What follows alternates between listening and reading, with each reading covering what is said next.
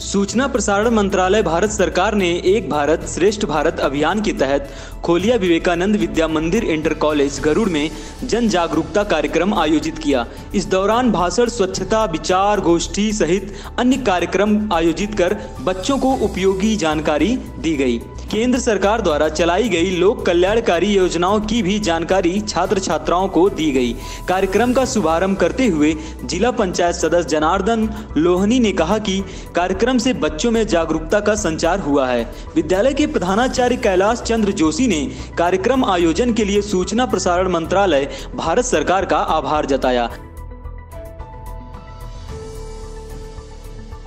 भारत सरकार द्वारा प्रायोजित सूचना एवं प्रसारण मंत्रालय के द्वारा तत्वाधान में क्षेत्रीय कार्यालय पिथौरागढ़ के द्वारा ये आयोजित कार्यक्रम था।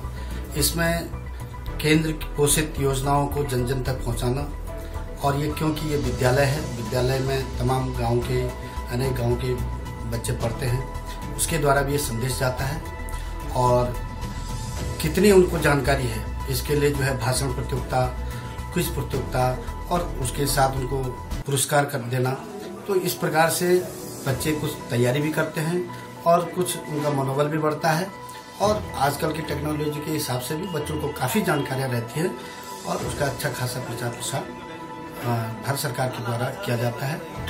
तो आज का कार्यक्रम था क्षेत्रीय लोक संपर्क ब्यूरो, सूचना एवं प्रसारण मंत्रालय, भारत सरकार पिथौरागढ़ द्वारा आयोजित किया गया था।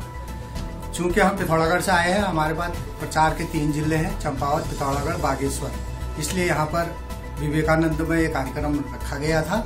इसमें स्वच्छता, राष्ट्रीय एकता, एक भारत, श्रेष्ठ भारत, इन पर कार्यक्रम किया गया, जिसमें गोष्ठी, भाषण, क्विज, रैली का आयोजन किया किया गया।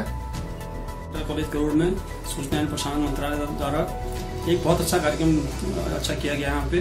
जिसमें कि अपने जो अपने क्षेत्र के जो बच्चे हैं, उनको जागरूक किया गया। चाहे स्वच्छता के बारे में है, चाहे बेटी बेटी बचाओ बेटी बचाओ उसके कार्यक्रम के इसके अंतर्गत है।